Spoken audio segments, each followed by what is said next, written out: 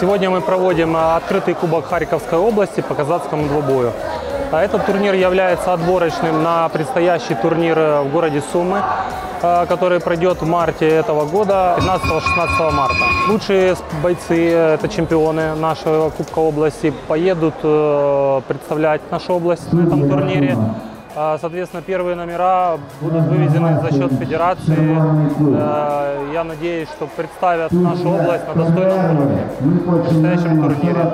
Очень радует, что популяризация нашего национального вида спорта растет, и все больше и больше команд и участников принимают э, участие в наших турнирах. На сегодняшнем турнире я хочу пожелать всем участникам только побед. И самое главное, чтобы наш турнир сегодня прошел без травм.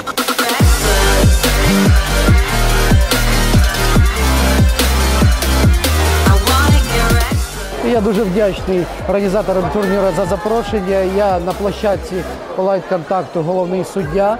Е, Змагання проходять дуже дуже добре, організовані дуже добре. Багато дуже учасників змагань. Е, П'ять килимів, тобто е, на усіх йдуть запеклі бої. Гарно підготовлені спортсмени, тренери та судді. Враження від змагань дуже добрі.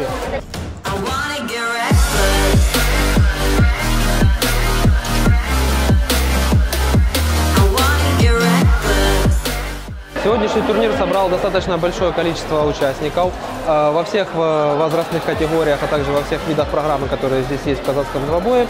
Мы видим практически 450 участников на этом турнире. Э, Большое количество молодежи, которая пропагандирует здоровый образ жизни, также внимание СМИ и всех тренеров, которые сюда. Также сюда собралось 32 спортивных клуба, которые выставили тоже своих воспитанников. Сегодня, я думаю, у нас победит сильнейший.